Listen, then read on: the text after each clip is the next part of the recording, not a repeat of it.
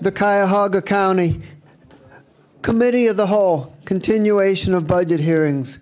Committee meeting for Monday, October 30th, 2017 is called to order, and the clerk will please call the roll. Calling the roll, Mr. Schron. Here. Ms. Conwell. Present. Mr. Jones. Here. Ms. Brown. Here. Mr. Hairston. Here. Ms. Simon. Ms. Simon is absent at the moment. Ms. Baker. Mr. Miller. Here. Mr. Tuma. Here. Mr. Gallagher. Here. And Council President Brady. You have a quorum. Thank you very much. Before we start, I just want to make everyone aware we have a very distinguished person in our audience today, our former first council president, Ms. C. Ellen Connally. Thank you very much for being with us. Uh, we're gonna we're gonna get into uh, uh, public comment related to the agenda.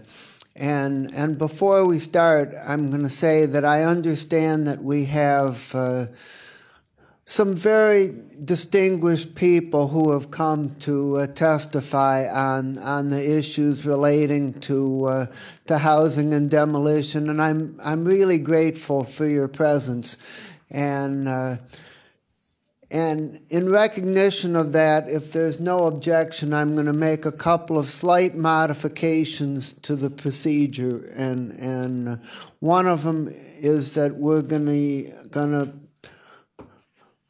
relax the three minutes a little bit, and, and if someone goes over a minute or two, we're willing to bend a little bit on that. We have a lot to do, so I had asked not very much, but we're going to bend it a little bit.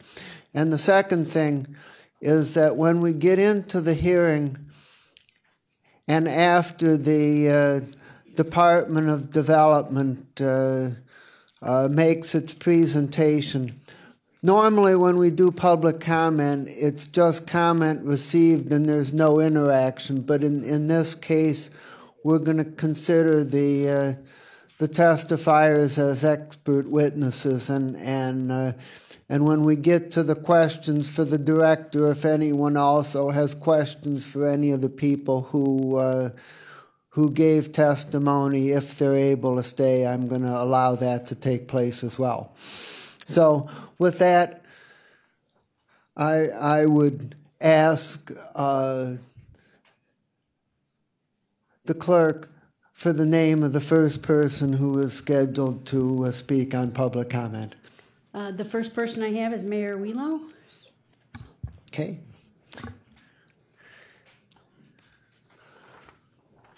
Mayor Welo, can, welcome to the committee. Thank you for joining us. Please proceed. Thank you, Mr. Chairman, President Brady, our county council. Housing represents 66% of our real estate value in the county. If the housing stock is in decline, the region cannot fully recover its vibrancy.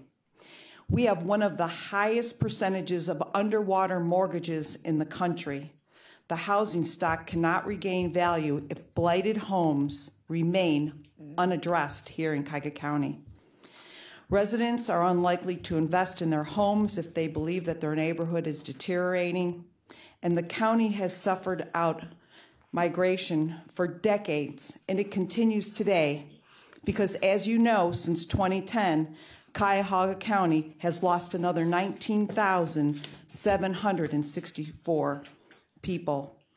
Being largely built out limits our opportunities for new construction, and we know that we will be the first built out county in Ohio. Demolition provides the opportunity to build new housing, which is highly uh, desirable and sought after, and not just in the inner rings, but also in our outer rings, where we have seen commercial values go up, such as in Rocky River, where you use the dollars for commercial project there, and exciting project in the inner ring suburb in Shaker Heights. There's over $230 million in delinquent residential property taxes representing over 36,000 delinquent structures. This is the next storm. First, I came here in 2005 to tell you that we had a foreclosure crisis. Now you're going to have a tax delinquent crisis, and this will only likely lead to more problems. I wanted to ask you to please, the hardest hit funds are the are only able to be used for demolition if a property is owned by the county land bank in Cuyahoga County, and this is unlikely to occur in the inner ring suburbs. That is why we really need this money, and that's why we really need uh, for some changes to happen. You know, blighted structures are the cancer of a neighborhood, and unless all the cancers are removed, the blight will spread, destroying what we've already done. Let's not make the same mistakes we constantly make in Cuyahoga County. You see a little bit of a spike of goodness, and then we stop. It happened to us before, and don't let us happen again. I wanted to read to you a letter from the Cuyahoga County Mayors and Cities Managers Association. Dear members of the Cuyahoga County Council, the Cuyahoga County Mayors and City Managers Association is urging you to keep the funding of the County Demolition Fund and not divert 17 million of the remaining commitment to the general fund as that it will stop all programs that are being made to stabilize the housing stock in the county. As you are aware, there's an ongoing long-term need for this type of public funds. This fund is the only source of public funds that can be used for residential and commercial demolition. These funds have allowed built out suburbs opportunity for new infill construction and commercial redevelopment, which builds the tax base and provides desirable housing and retail alternatives to attract and retain residents. Although our funds are available for City of Cleveland demolitions, many of these funds have geographic limitations or other restrictions that would make them less effective at addressing blight throughout the city. This diversion of funds will likely result in at least 1,400 structures requiring demolition to remain standing, further dragging down values. Again, we urge you to please keep the demolition fund intact to continue the progress that is being made in our wonderful county. On behalf of the entire association, Michael S. Procuk, President, Mayor of the Village of Brooklyn Heights. I'm going to leave that with your clerk and the letter that I had sent you personally about the city of South Euclid and all the wonderful things and the opportunity we have we have had. Thank you. Thank you very much. Next is Jean? Frank Ford.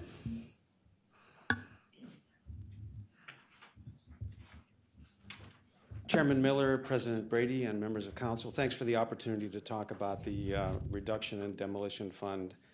Um, I also I want to say quickly that I liked everything that Mayor Welo said in terms of what is the importance of this? How does it impact people's lives and their, their home values? Uh, so I'm not going to talk about that. I'm going to limit my remarks to uh, the what seems to be the basis that was relied upon in removing the 17 million and it's, it really comes down to two things. The county uh, staff made an estimate of need in, in demolition, and that seems to be an error. I'm going to talk about in a minute. And they estimated the funding capacity separate from the 17 million, so that it would imply that there wouldn't need to be the 17 million. And there's errors in that calculation as well. I have a five-page handout, which hopefully you all have, uh, which goes into a lot more detail. I'm not going to go into that. I'm just going to summarize the high points. First of all, the estimate of need cited a need in Cleveland of only 4,000. That is nearly 1,000 too low. Uh, there was a committee of people met last week, about a half dozen from City of Cleveland, County Land Bank, Case Western Reserve University, and Western Reserve Land Conservancy. And we reviewed all this data and uh, came up with revisions. So that is uh, 1,000 too low. The estimate of need in East Cleveland failed to take into consideration the 156 apartment buildings, which you can't budget those the same as you would a house. Those 156 apartment buildings are the equivalent of another 1,000 homes because it's about $13 million for those apartment buildings. On the funding side, the capacity side, the estimate relied upon 1,400 projected demolitions by the county land bank in 2019 and 2020. The land bank is confirmed, and hopefully there's somebody here from the land bank to, to confirm for you, those 1,400 are not going to be available. The estimate also relied upon 1,200 land bank demolitions this year, and the land bank has confirmed there's only 200 of those left because 1,000 have already been done. So you can't really use the 1,200 and look forward to what is remaining to be done. So there's an error there as well. And finally, the estimate relied upon 1,000 demolitions projected by the City of Cleveland for the Safe Routes to School program. Similarly, 150 of those have already been done, leaving only 850 to be part of the calculation. So overall, the need, which was projected for the county to be 5,500 demolitions, is more like 6,700 demolitions. And on the capacity side, the, the capacity was projected to be able to do 6,800 demolitions separate from this 17 million. That's actually only 4,300. So what it comes down to is that you've got a shortfall uh, when you compare the need and the surplus of 2,400 demolitions. Uh, the estimate also erred in one other way that I want to point out. The estimate did project future capacity for funding in 2019 and 2020, but it didn't do the other comparison for a future need. And when this group that I mentioned met and we went through a lot of calculations, we came up with another um, another 2,700 demolitions that, that, are likely to occur in the next several years. So you can't look at this as a static problem, like, well, the number is what it is now, and there won't be any more. You have to consider the number of homes that are not yet condemned in the city of Cleveland, but might be boarded up. Um, now, lastly, I want to say that the 50 million I don't know that anybody would disagree that the 50 million was intended to address blight that's undermining the housing market. Where is that problem occurring? It's 80% in Cleveland and has been 80% in Cleveland. I haven't seen anybody dispute that. And about 20% in the suburbs, 10% in East Cleveland, 10% in the balance of the suburbs. That concern over that imbalance led this council, I believe, and the administration to say, you know what, let's put some restrictions on Cleveland. We don't want Cleveland to just suck up all the money. So let's make sure that the suburbs get their fair share. And that was a reasonable thing to do. Unfortunately, what's turned out, now that it's three years later, the suburbs didn't get their 20%. The suburbs got 60% of the demolition funding. And I'm, I'm sure you put it to good use. Everybody did. But Cleveland only got 40% of the money, and it has 80% of the problem.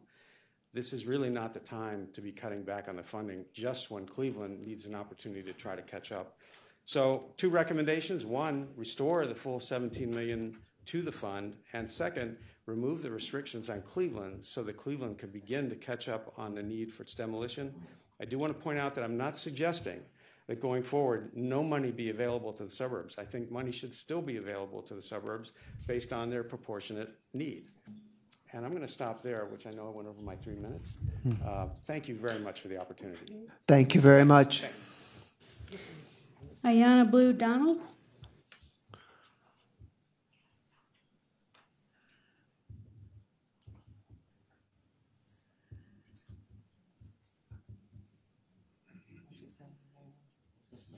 This is as good as I could get it. Good afternoon. Chairman Miller, Council President Brady, and members of Cuyahoga Council, thank you for having me here today. Building and Housing is grateful. We have been awarded um, through the City of Cleveland around $8.9 million since the inception of the Cuyahoga County Demolition Fund, which has approximately um, been able to fund about 840 structures. We've leveraged this fund along with other sources, um, most recently the $13 million um, of the general fund money for demolition and to help our demolition strategy. Keep in mind from the very beginning, the City of Cleveland has worked hand in hand with county staff. We help implement procedures, reimbursement processes, just how this exactly would work to coordinate a smooth process for the implementation of the program. Um, in the very beginning, it was mentioned that it was important that the suburbs were able to get their allotment of their fair share of the Cuyahoga County Demolition Fund and make sure that we wait our turn. Um, we did the rounds as we were requested to um, apply for the rounds. And in the end, we would have our opportunity to kind of catch up and do and perform our demolitions for the city. We've always had a capacity and inventory to perform the demolitions if the funds are available and provided. We currently have 941 properties that are approved for demo, meaning condemned, inspected, and approved and ready to go, and an- another 946 that are kind of in the pipeline and underneath legal review.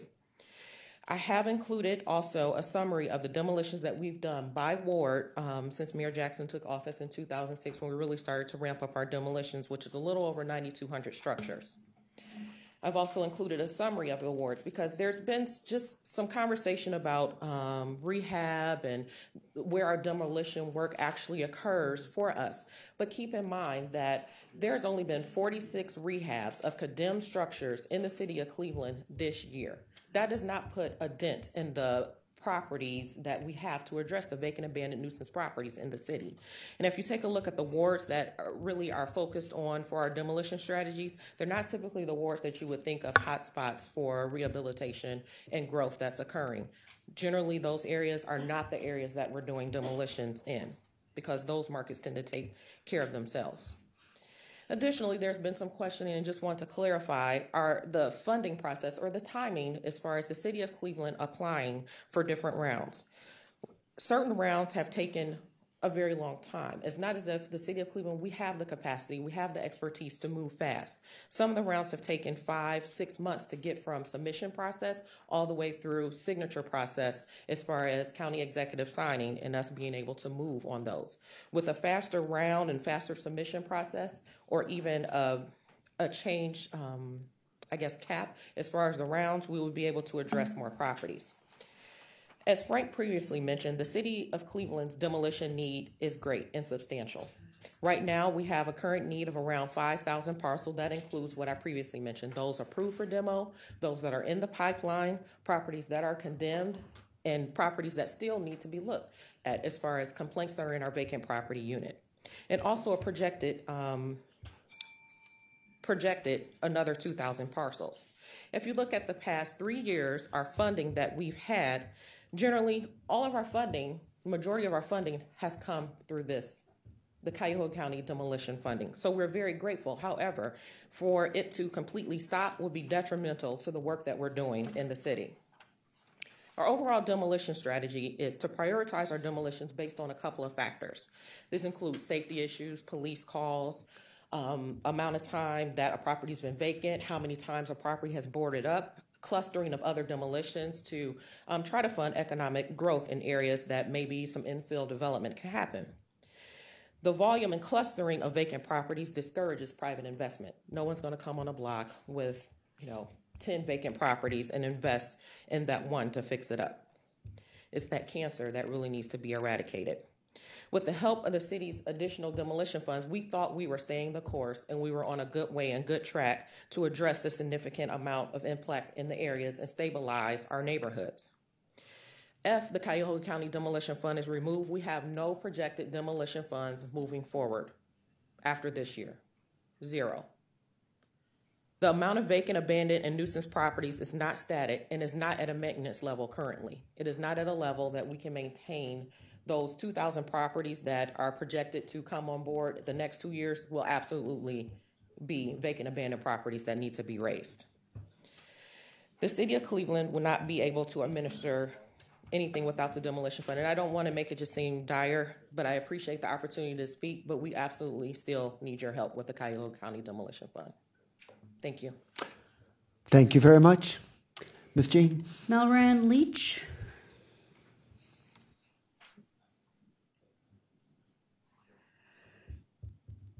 Thank you for the opportunity to speak, um, Chairman Miller and Council President Brady and members of council. My name is Melvin Leach. Uh, Mayor King would want to be here today, but he couldn't because he has to take care of something with the ARCO site, which is another major problem for the city of East Cleveland. Um, I would like to make sure we talk about the benefit of the county demo fund and what it has done for us so far we have been able to clear the western portion of the city, which is paving the way for major development to come. We've signed an MOU with the Cuyahoga County Land Bank that they will come in and they'll be the major developer for that land. Without the county demo fund, there would have been no way that this could have happened. Um, secondly, under the second round that we applied for, that we're able to get the funds, it is paving the way to make sure that residents are able to maintain their insurance. I get at least two to three phone calls from residents that need letters from me stating that they need to keep their insurance. And for us to make sure that we clear the vacant, blighted, and dilapidated properties that surround them has been a major benefit. I couldn't imagine sometime living in the areas that they have to live in. So right now, in the heart of East Cleveland, we we're making a difference. Right now, we have about 200 slated for that general area alone. That will make and pave the way for the residents to take care of the um, neighbor next door, and we honestly get them to come in to say they want the property next to them. For me, the county demo fund, if it left, would leave us doing about 20 demos a year. We get a little under a million dollars a year from CDBG. In the allocation of how we do our budget, we only allow in the public facilities area about 20 demos.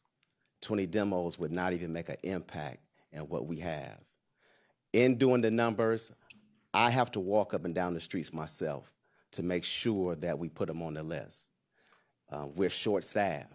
So we're not able to turn around the timetable like the city of Cleveland may have by having a larger staff to get it out. Because like for I said, for, for example, me, myself, being the director, I don't have the liberty to sit back and tell staff to go out and do it. I go out and do it myself. So every single parcel, every house that gets demolished, I make sure I visibly go out and take the pictures and write them up myself. So having an extended time will greatly benefit us.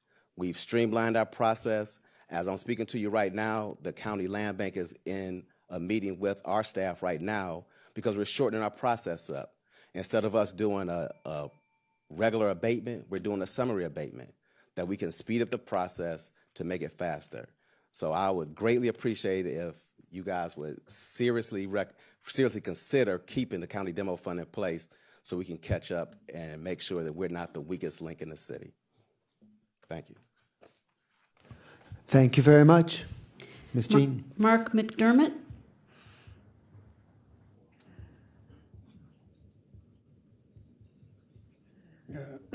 Good afternoon. Uh, I'm testifying, testifying today on behalf of Enterprise Community Partners, a housing and community development national nonprofit. We have offices across the country, including here in Cleveland, where we've been for nearly 30 years, where we work very closely with partners to help the 96,000 Cuyahoga County residents who are grappling with housing insecurity or homelessness. First, I'd like to thank Council for your focused attention on the growing and urgent housing needs in our communities. The future of Cuyahoga County is inextricably linked to the stability of its housing. The county weathered a housing crisis and for decades prior to that, a steady loss in population. And although we are seeing some signs of recovery, creating permanent and equitable stability demands an aggressive and diverse approach. With this in mind, Enterprise has, with other partners, been part of the County Housing Stakeholder Group for over two years. And the County Housing Stakeholder Group represents a wide variety of interests, but has worked collaboratively to identify shared priorities. We supported the Department of Development in developing the first ever county housing plan, and we appreciate the opportunity when we presented it to County Council on October 2nd. The county housing plan comprehensively identifies the housing issues in our county, as well as strategies and resources necessary to address those issues. One of those is that it's time to implement the county housing plan, including a proposed county housing fund, part of the right solution. Local housing funds are smart and proven national best practices there's one in Franklin County, City of Columbus, one in Toledo and Lucas County, one in the city of Cincinnati. And in fact, uh, there's more than 770 local housing funds in 49 states. The proposed county housing fund, while not with a dedicated source of revenue, is still surely a step in the right direction. A well researched and flexible county housing fund like the one proposed could help seniors age in place repair homes of low income families, provide stability for the disabled, for veterans, for youth aging out of foster care, and even protect our critical existing programs against future potential federal or state cuts. With a relatively modest investment, a county housing fund could also leverage other funding from private and philanthropic sources here locally. Plus, the recently published Partner Health and Human Services strategic plan underscored a safe and stable affordable housing as a top priority to Cuyahoga County residents and the department. We know that investment in housing saves us dollars elsewhere. Whether it be in healthcare or education or workforce development, when you invest in programs like a county housing fund, you are also ensuring that these other county housing investments pay off. The time is now to create a county housing fund in Cuyahoga County. We need a diversity of tools in our toolbox to help low income families, seniors, and homeless succeed. And we'd be happy to answer any questions or meet with council members to discuss in more detail. And of course, we stand ready to assist the county in implementing a successful county housing fund. Thank you. Thank you. Ms. Jean? Alan Butler?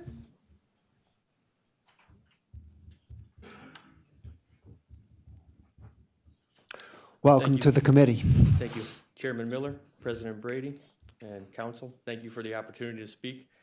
Uh, As a pro, housing programs director for the city of Cleveland Heights, I would like to urge county council to continue to support and fund the county demo fund in order to continue the great progress and efforts made to eliminate blighted and abandoned homes and structures in our community, which help to stabilize neighborhoods and promote economic growth in our city. Termination of this fund prematurely would be detrimental to the growth of Cuyahoga County and the property values for its residents. The city of Cleveland Heights has benefited greatly from the creation of the demo bond fund and has currently removed 39 blighted structures with more pending. The Housing Programs Department has continued to promote the renovation of structures and used and has used demolition as a last resort, which has led to a decrease in the demolitions overall. However, the problem vacant and abandoned structures continues to be a major threat to the safety and economic stability of our community, and the need for demolition funding as a last resort is still crucial. The future estimates on demolition needs are 10 to 20 homes per year for the next five years for Cleveland Heights alone. Cleveland Heights currently has 556 registered vacant residential structures and 109 bank-controlled structures along with delinquent tax total on the residential properties of over $15 million. Average median home sale prices in Cleveland Heights have increased 8% over the last year. However, some have shown slow, some areas have shown slower growth than others due to vacant and abandoned structures. Cleveland Heights has encouraged growth and renovation in the city with programs like our down payment assistance program, rehab loans, senior paint program, senior violation repair program, lead safe Cuyahoga program, healthy home program, and the side lot program, along with a comprehensive housing inspection department and a proposed citywide CRA for new home construction and renovation. I urge you, on behalf of the city of Cleveland Heights, to complete the original commitment of 50 million to the demo bond fund in order in order to the encourage, to encouraging signs of housing recovery from the Great Repression, recession. Excuse me. The city is extremely grateful for the partnership which the county in our re revitalization and continuation of this program is an essential tool in the resurgence of our community and in the stability, safety, and growth of our neighborhoods. Thank you. Thank you very much, and I note that uh, Ms. Simon and, and Ms. Baker are now here, have been here for some time, and Ms. Jean. The next speaker is John Anoliefo.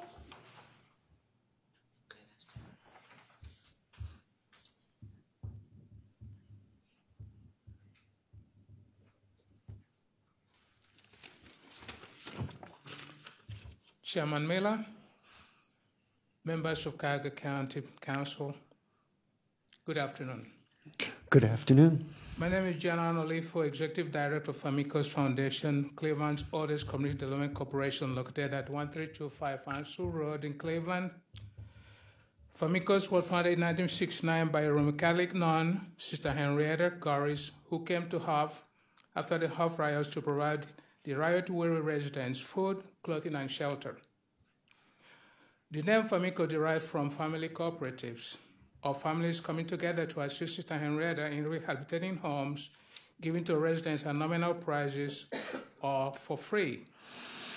Over the years, Famicos grew from a project-based CDC using volunteer labor to accomplish its mission to a place-based CDC responsible for the overall revitalization of the Glenville neighborhood. Our mission is to improve the quality of lives in Greater Cleveland through neighborhood revitalization, affordable housing, and integrated social services. Famicos Foundation has been and is still at the forefront of innovative housing solutions in Cuyahoga County, including the founding of Detroit Shoreway Housing Corporation and the Cleveland Housing Network in 1981. Our charter allows us to serve other counties such as Geauga, Lake, and Medina counties. We are also a chartered member of NeighborWorks America, a 2,400 member organization across the U.S which is a line item on the federal budget. Today, we own and manage more than 1,000 units of housing, so we know and understand the need for housing in Cuyahoga County. I stand before you to ask for your support of the proposed Cuyahoga County Housing Fund. The proposed county fund was developed following years of deliberations by a county housing stakeholder group comprised of individuals with experience on the topic. The plan, while it may not be perfect, it's the first ever of its kind for Cuyahoga County. The plan as proposed is flexible and can be used to support different housing solutions, such as housing for the elderly to age in place, repair homes for low income families, housing for youth, aging out of foster homes, or to abate homelessness in the county. The revitalization of Cuyahoga County must be a balanced approach, not a single solution. I urge you to support this plan as an investment in the lives of those in need in Cuyahoga County. As, as we all know, housing is where it all begins. If you don't have a place you call home, everything else is secondary. Thank you for this opportunity to speak at your meeting. Enjoy the rest of the day. Thank you very much. Ms. Jean? Martine DeVito. Good afternoon, everyone. My name is Marty DeVito. I work for Mayor Fletcher Berger in beautiful Bedford Heights. Um, the reason I'm here is a want to one say thank you. Without this demolition program, we would still have that ugly eyesore called the Ramada Inn on I 271 North at 24801 Rockside Road. And I want to point out, I agree with all the housing comments that are made, but more importantly, this is an economic development tool that we can't access funds anywhere else. And it, it can, however, leverage funds. So for example, the demolition of the hotel, we were lucky enough, thank you, Councilwoman Brown and the staff, um, we were able to receive funding for the demolition of the hotel at 200,000, but the estimated cost of that was a million. That $200,000 helped leverage $615,000 from the state. It will enable the county to retain a uh, corporate headquarters by the name of Universal Windows. There are 40 jobs there with an approximate $3.5 million payroll. With the new land available in Inner Ring community, they're able to grow to an approximately $6 million payroll.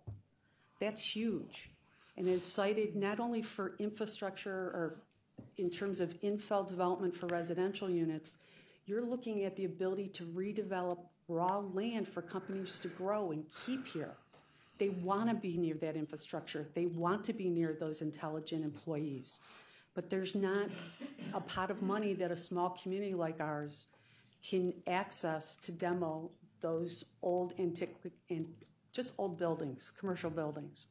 So I, I'm empathetic to the strains on your budget, but I would respectfully request that you somehow divert a couple of million, preferably more than a few million, to the brownfield program to help leverage other funds that can be accessed to demolish these contaminated or just grayfield sites and make them available for future expansion for our existing businesses. So thank you very much.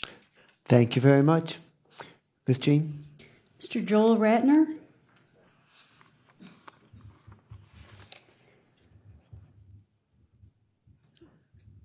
On Mr. Ratner's behalf, this is uh, Justin Fleming. Thank you. Uh, thank you, uh, Chairman Miller, President Brady, and members of council. Today I'm here testifying on behalf of Cleveland Neighborhood Progress. We are the nonprofit community development intermediary established in 1989, and I have the great pleasure of working with our CDC infrastructure in Cleveland and public-private stakeholders throughout the city and county. In our field, uh, residents and visitors of the city of Cleveland can recognize and are excited about some of the recent investments we've seen in real estate in Cleveland recently, and rightfully so. Those investments ought to be acknowledged and celebrated as they come off the backs of decades of disinvestment and outmigration in the city. What we should ask ourselves now is to think critically about how we can leverage those investments and how we can develop the tools uh, to efficiently and equitably um, support those investments and make sure that the county continues to grow. To that end, we fully support the development of a county housing fund.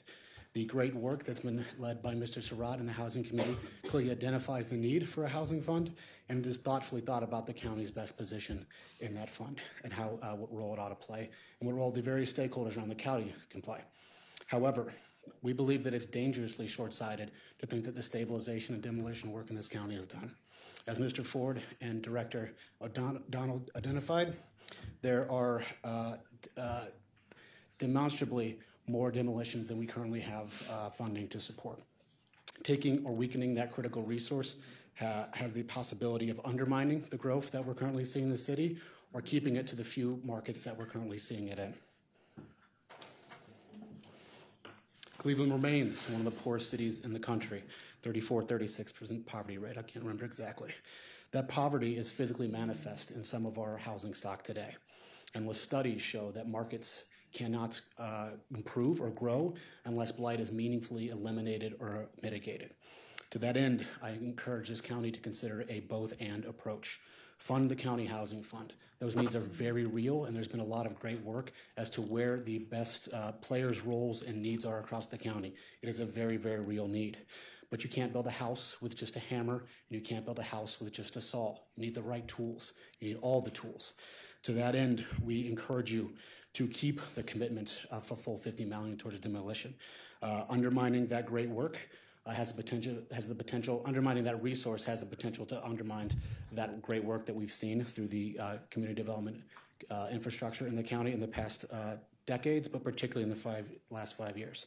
Thank you. Thank you very much. Ms. Jean? Michael Pyrus?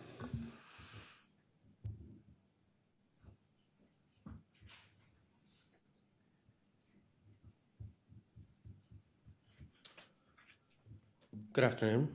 Uh, Good afternoon. I am testifying on behalf of Neighborhood Housing Services of Greater Cleveland, better known as NHS of Greater Cleveland. Uh, we are a HUD-approved counseling agency um, and a nonprofit located in Slavic Village. We have been providing programs and services to support affordable housing for more than 42 years. Uh, we also administer the county's down payment assistance program. Since 2009, we provided over $2.6 million in assistance and leveraging over $18 million of an investment uh, in uh, Cuyahoga County. Mm-hmm. I am here in support of the county's housing fund. Uh, as some of my colleagues, Mr. McDermott, as well as John Anoliefo mentioned, uh, we too have participated in the county's uh, housing stakeholder group over the last two years.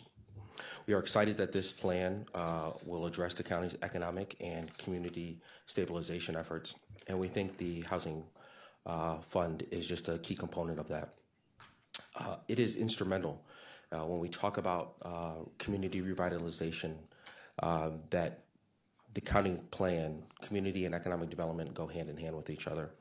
Um, there are over, there's been a lot of talk about demolition uh, in terms of the number of um, units that, that, need to be demoed. There are over, however, there are over 600,000 occupied units in Cuyahoga County. Uh, the American Community Family Survey estimates that countywide, 13.5% are vacant, meaning that there's more than 85% of units that are occupied, 60% of which are owner occupied. Um, of these units, 30% were built in 1940, meaning that the owners often face maintenance and deferred maintenance issues. In the absence of federal dollars, reappropriating all money to demolition would leave no county program to address these units. Uh, this would include the down payment assistance and home repair fund, uh, uh, programs, essential operations for home improvement. If these issues are not addressed due to lack of funds, properties may uh, become attainable, increasing vacancy issues. Uh, we support an emergency fund for demolition, although we think the money is well spent with the county housing fund. Um, again, like our colleagues uh, that spoke on behalf of us before, uh, we think that it is now the time to create a housing fund. Um, we think that a diversity of tools is needed in this county and not just a, a, a single uh, fund to demolition. And so, again, I urge you guys to consider the need for a diverse uh, county plan a budget that would include a housing uh, housing fund. Thank you. Thank you very much. Mayor Annette Blackwell.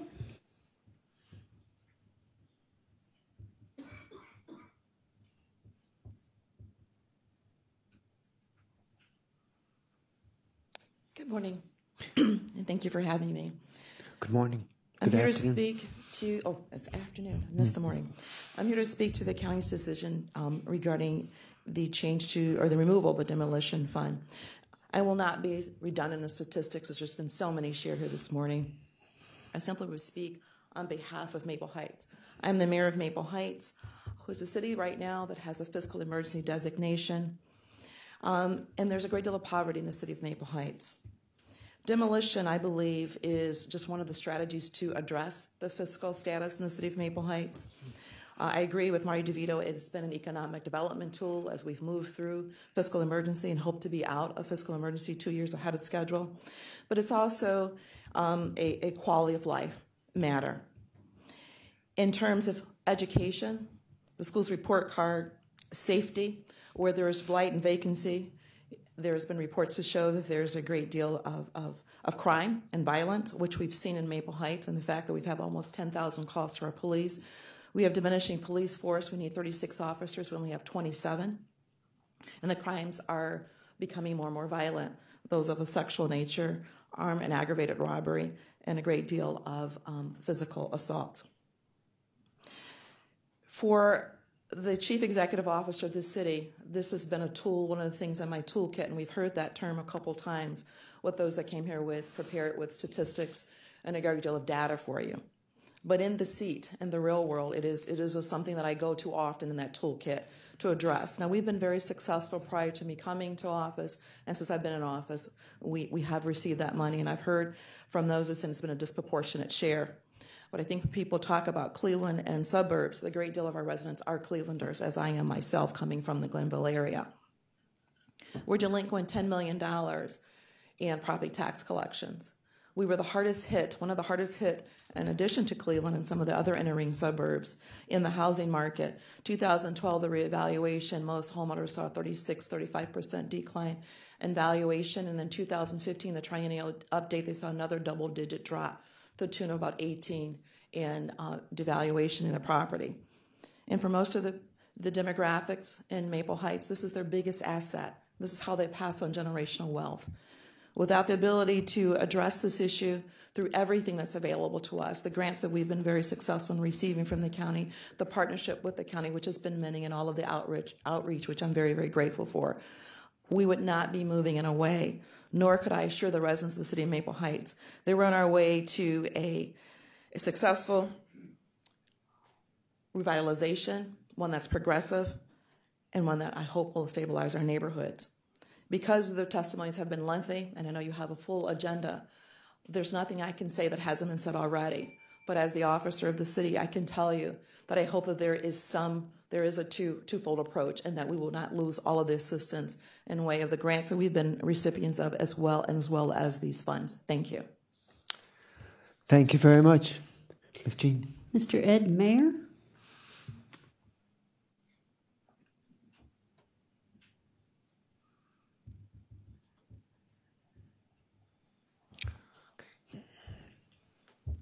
Dr. Miller, uh, President Brady, the re- remaining members of the council. I come here to speak not really representing any specific organization. I come here as a citizen of this community. Now, I've had the opportunity to live in this uh, fine county for more than 40 years. I came here from Ashtabula, Ohio. Ashtabula, Ohio is now the belt buckle on the Rust Belt. It's a very, very decrepit city. In fact, I just had the chance to go back this week and I found out that they've just tore down the house across the street from where I lived. And it's very likely that my house is next. But the point being, at least they're taking out some abandoned, decrepit facilities, houses, and other, other types of facilities, and giving the chance for the community to come back. Here, I live in Lakewood. I have worked very closely with One South Euclid, which is the community development organization in South Euclid. I have, you know, the opportunity to see a lot of different areas because I'm, I'm commuting across town. I've also worked with Habitat for Humanity as a volunteer. What can I say? I like to pound nails and paint walls. But even with Habitat for Humanity, in many neighborhoods throughout the city, you can see where the incremental progress that they're making house by house to rehabilitate these facilities is being hampered by the fact that there are so many abandoned buildings still remaining in the neighborhood. In my particular neighborhood, I live on Gill Avenue in Lakewood. Over the past year, um, there have been private developers that have come in and rehabilitated about six out of 40 houses on my neighborhood. That's great. When I go out to the community and I go to Buckeye and I go to these other areas that I've been in as a habitat volunteer, there aren't any private developers coming in to rehab those neighborhoods. We need these funds to take out these abandoned houses, these abandoned buildings, to make these neighbor give these neighborhoods a chance to come back, a chance for some progress. You have, you know, how many people you have here today that are struggling and volunteering and putting together all kinds of organizations to fight this problem. They need your support. As a citizen, I think it's my tax money well spent and I encourage you to re restore this funding so that this community can continue to go forward. Thank you. Thank you very much. Ms. Jean. Councilman Tony Brancatelli.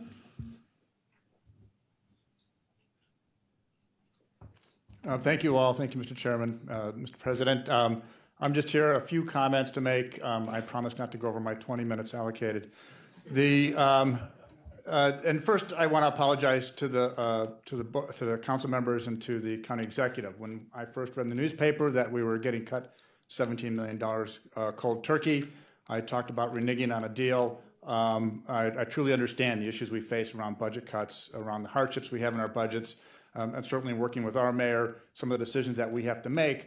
And I understand that um, over the past few years that these funds were not out of a bond, but they were out of uh, what our, our, former chief Silliman used to say, reaching in the seat cushions and trying to find money to help fund a dire need. So that dire need has been funded for $33 million already. So we, we truly appreciate that. But I also understand trying to figure out um, how many distressed properties we have is like trying to figure out the starting quarterback for the Browns. It's very elusive, it's very hard, and when we think we lock in on the right franchise number, it changes. Um, and that number has been elusive. We have been seeing the evaluation of these numbers, and they have been going up. So we're trying to figure out what the need is. You've heard quite well from others about how, what, the re- what the real number is. Um, but the other part of this is um, what we've been doing with hardest hit funds and looking at our uh, Board of Revision sales, and I truly appreciate the dedication that's been made of resources to ratchet up our prosecutions, because I know Colleen is busy over there uh, moving these properties through the process, but we know that the HHF funds can only be used for properties that we're in ownership on, which made these county funds that much more valuable uh, as a resource. And I can't help but look, but I remember Jack Schron uh, uh, dictating to me the money has to be strategic, it has to meet, have an impact. Um, and so when we have a resource that we know is timed over a certain period of time, um, we know we can be strategic. We know when that money's coming in, we can rely on it to be Go to, we can rely on it to go after that strategic condemnation next to the houses that we're rehabbing, next to the new uh, assembling land for new construction. And I know that uh, uh, uh, Councilman Jones and I sat in the front pew for two hours at Elizabeth Baptist Church, one of the longest services that we ever sat through. Um, but we know Pastor Gibson was saying, what, what can we do to improve the campus around us? And that's where we use these resources strategically. Um, and we, and I think it is incredible to have a county housing fund. I think it's incredible to look at uh, being flexible, but you can't have one without the other. Rehabbing houses next to condemned houses or investing strategically also means eliminating blighted conditions and trying to figure out um, how best we can use our resources. And I also know that of that uh, $33 million, um, a, a, big portion of that went to the suburbs, and I know some suburbs have a hardship um, that we all need those resources, but it was staged specifically knowing that Cleveland would patiently wait its turn. Um, so as the resources become available and the next round becomes available, then Director Donald can put those in. Um, and the concern was being next in line for round six and having round six cut out without any notification um, makes it incredibly hard. So just to wrap up, um, this is very important resource for us. I'm sure we can sit down and reasonably uh, with Ken and others figure out how we can stage this, how we can come up with a resource that we can say we're strategic in how we use it and how we recover the housing stock and recover for the families um, that are in dire need of seeing the distress go away and our housing market recovered in a very well managed way. So thank you very much. Thank you very much. Ms. G. Mayor Earl Leiken. And I just want to apologize, no disrespect. I'm leaving for a joint meeting on marijuana at City Hall. Not a meeting about smoking joints, a, a, a meeting, a joint meeting between Finance and our Development Planning Committee about the legalization of marijuana. Thank you. Okay, thank you. Um, good afternoon. Uh, I want to begin by thanking the County council, the executive, Ken Surratt, others in the staff uh, for the amount of help that you've already provided with the funding that you've given for uh, demolitions. Uh, to just cite a couple of examples from my own community, uh, we have done commercial developments that commercial demolitions that we would never have been able to do without the help of the county. That has spurred economic development in our Van Aken area and elsewhere uh, that will bring not only additional dollars to our community, but additional dollars to the county. In the Moreland area, which was very hard hit by the foreclosure crisis, one in four homes were hit. Uh, it's a low mod community with an average income of $32,000 uh, per uh, household. Uh, the uh, county demolition funds have been critical to allow us to demolish uh, 34 homes, and we, as a city, are now investing in the area. We've secured a uh, $50,000 grant from the National Endowment of the Arts, and we're in the process of revitalizing uh, that whole community. Again, something that could not have happened uh, without your help. Uh, having said that, um, um, I would advocate bringing a sense of balance to this process. Uh, I mean, we are cognizant of the fact uh, that the county has also been hit very hard by uh, losses of $30 million uh, in uh, Medicaid funding, 60 million over the biennium, and I know you have significant uh, other needs that are going to have to be met. Um, I hope you'll keep in mind, however, uh, continued investment in uh, demolition. Um, and um, well, uh, Shaker uh, is uh, prepared to, to stand uh, out in this round in light of the help that you've already provided to us. And I would encourage others to stand out in terms of the total needs. you have heard about funding needs in other communities, and I would ask that you not neglect the uh, inner ring suburbs, particularly uh, you've heard from Bedford Heights, Cleveland Heights, South Euclid, Maple Heights, uh, and East Cleveland. Uh, so please consider those uh, carefully uh, in your difficult decision. And finally, we are also supportive of the county housing plan, which we think can do a great deal of good. Thank you. Thank you very much. Ms. Jean. Ms. Liu.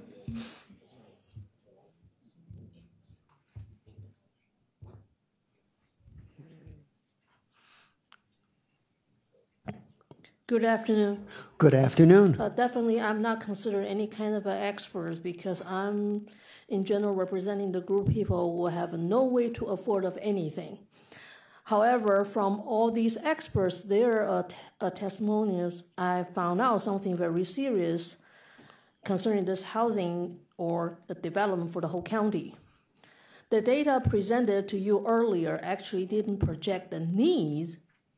However, in reality, we know for sure homeless people are getting more and more. Demolition fund is important, but don't think about only the business part of the growth. Also, we need affordable housing. So, in this case, even you help us to make sure we have demolition funds in all communities. Also, make sure they all have a good follow-up plans to utilize the land great regain, so they can really benefit everybody, not just only certain few people. Thank you very much. Okay. Ms. Jean? That was the last speaker. I would like council to make note that several of these municipalities and a- agencies have also submitted written testimony, which you have copies. Thank you very much. And uh, we don't have minutes from the last meeting, so hopefully at the next meeting we can have uh, that one plus this one and we can do them together. Okay? And matter referred to the committee for discussion, of course, is Resolution 2017 0182. Ms. Jean, could you please read that into the record? Resolution number 2017-0182, adopting the 2018-2019 biennial operating budget and capital improvements program and declaring the necessity that this resolution become immediately effective. Thank you very much. And first to uh, speak today and, and uh, covering the area that was the, uh, the uh, subject of 55 minutes of public comment, which we're all very concerned about, is Director Carter, Department of Development.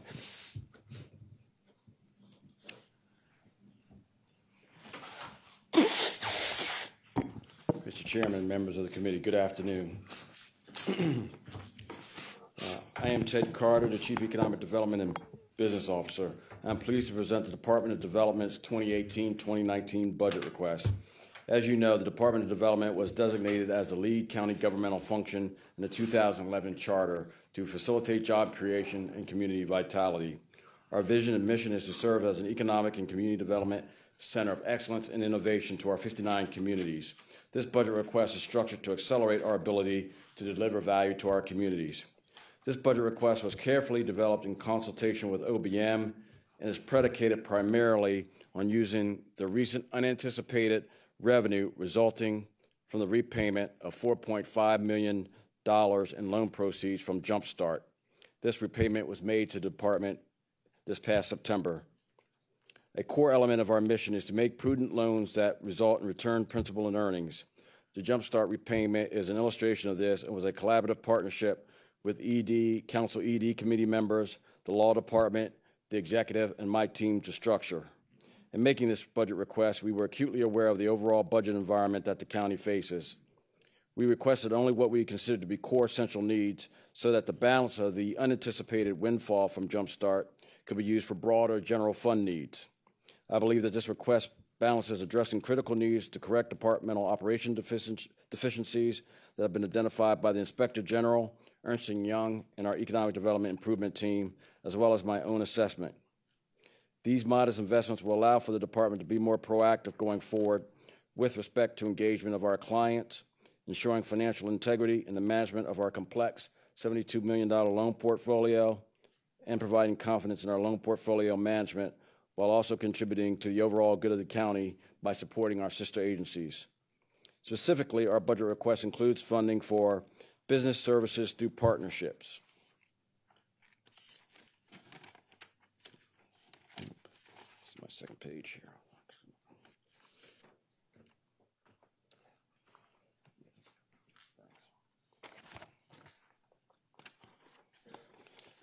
$100,000, $50,000 to the Greater Cleveland Partnership for the Development of a Minority Business Collaborative, which will direct businesses to training and corporate procurement opportunities. Uh, the second $50,000 is to the Ohio Aerospace uh, Innovation Center for a biz tech transfer and com commercialization pilot with NASA.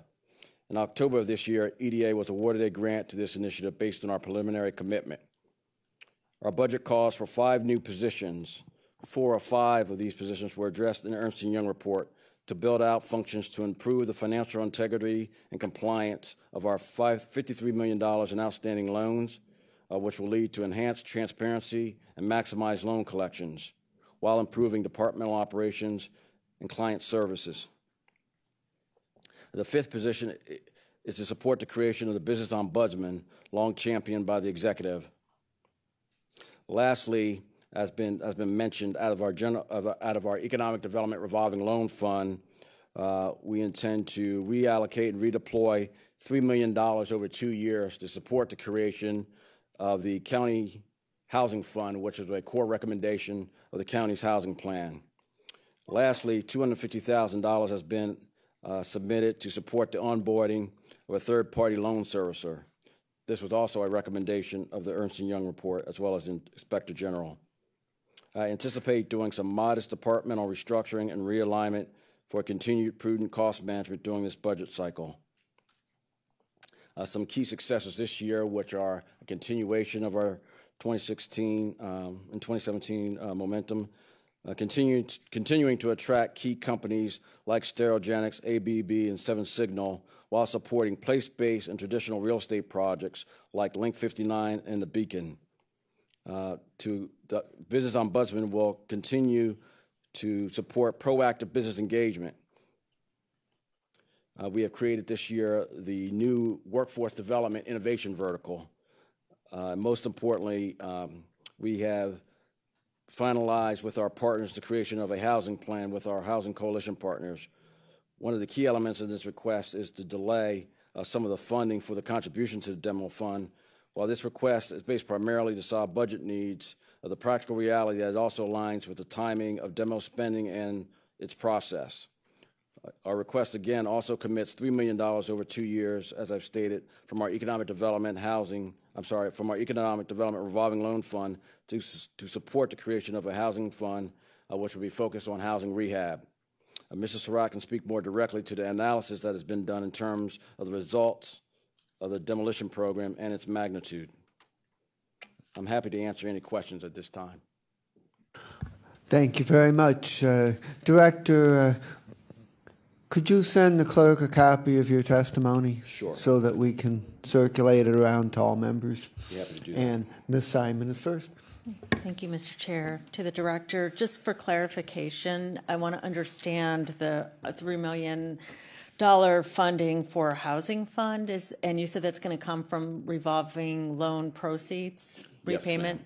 That's what, So the suggestion isn't to, to divert money from the, the demo fund balance, it's from another source? correct.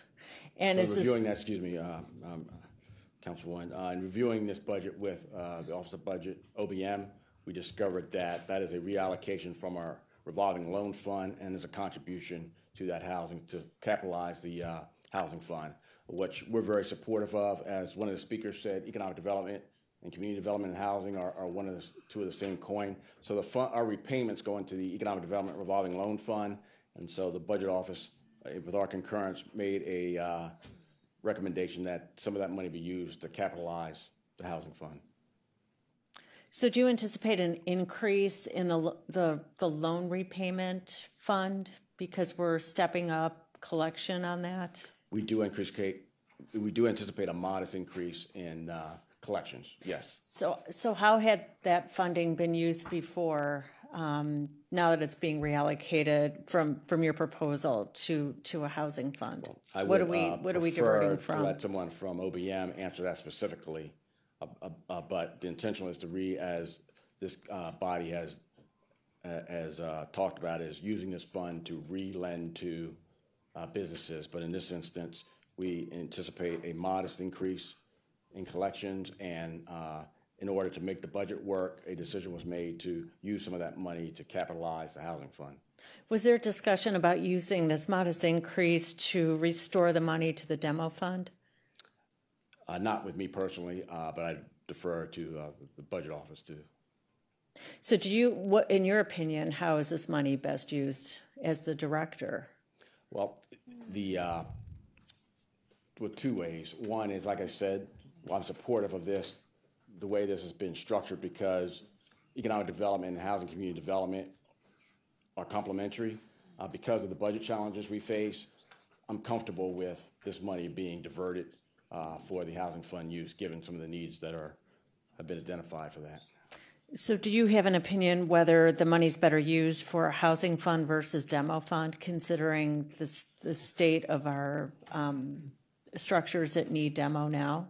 Yeah, I think it's not. I think it's complementary. So, you know, uh, Mr. Surratt uses this um, term where we've addressed a crisis and now we're into a maintenance mode, and so there are communities that need the rehab money. I know that's been the source of a debate both within the Housing Partnership Coalition that has uh, worked on the on the plan, but I think this allows us an opportunity to use a small amount of money for housing rehab. Okay, so so you believe that we're no longer in crisis mode? Well, what I would say is that there was a crisis that was addressed, and now there's well, there's work that remains to be done. There's a balance in how we address the the remaining blighted conditions in East Cleveland and Cleveland and other uh, parts of the county. Okay, those are my questions for now, Mr. Chair. I know we have a lot probably lined up. Okay, other questions either for the director or for any of our presenters earlier? Uh, Ms. Brown, did you? End no. Then we have Vice President Jones and Councilman Schron. Thank you, Mr. Chairman. And Director Carter, as you just mentioned, um, in terms of the crisis level, um, I'm glad to see Mr. Frank Ford here because he, he goes back to the, he was here and, and presented to us from the very beginning when we created the demolition fund, when this council initiated, uh, again, the demolition fund. And, and I'll go back. There was there was some debate around what the true number was, but there was a number of two hundred fifty million dollars thrown out at one time, and I'm sure there's some who might debate that number. But it was an initial number of what the need was in terms of demolition. Okay, when we introduced fifty million dollars, we knew we were only putting a, a, a drop in the bucket um, uh, doing an amount that was larger than any other county in this country has ever put towards demolition. So we were doing something special, but we didn't think it was going to solve the entire problem. But we did believe it would be by putting our money where our mouth was. We had we laid the foundation to attract additional dollars, which did happen thanks to many in this room. Seventy million dollars of hardest hit funds, but again, fifty and 70, 120 million, which doesn't touch the number that Again, an arguable number, but doesn't touch what uh, what was uh, put out there from the very beginning. So um, I, I, will push back against any thought that what we've done has solved the problem or or the problem doesn't exist. Um, will we have conversation around what these additional dollars are? Yes, we'll have that conversation. Um, but to think that we have, for council to think that we have solved the problem, um, that narrative I don't think it should be out there in the atmosphere. So I don't necessarily have a question, um, but I just need to put that out there. So. Okay. Councilman Schron. Yes, uh, because the director stated two times, and I really have to take offense to it, that this is an unanticipated windfall that that uh, Jumpstart showed up with this uh, with their their funds. I know that we sat here in the Economic Development Committee and Mr. Leach took the took that podium up there and said that no, that they did anticipate that they were going to have an event, which is in code speak for their uh, having a sale of a major asset within Jumpstart, and that yes, we did anticipate that. So when that four and a half million dollars was asked, would we take that as a repayment and accelerate the loan? We hadn't even built that into the document. None of the people you listed had built that in the document and say that now it's an unanticipated windfall that we're going to create a brand new department, a brand new function to create a new housing with new budgets and new things in the middle of where we have all this other budget crisis. I am really disappointed to hear those kind of words of unanticipated windfall and the creation of uh, a new housing uh, department when uh, this is brand new when we're in the middle of a, of a budget crisis. We're hearing push, push, push to reduce. We're hearing Mr. Brancatelli talk about strategic, and here we are creating new funding, new departments, and new uh, new ways of going about spending money.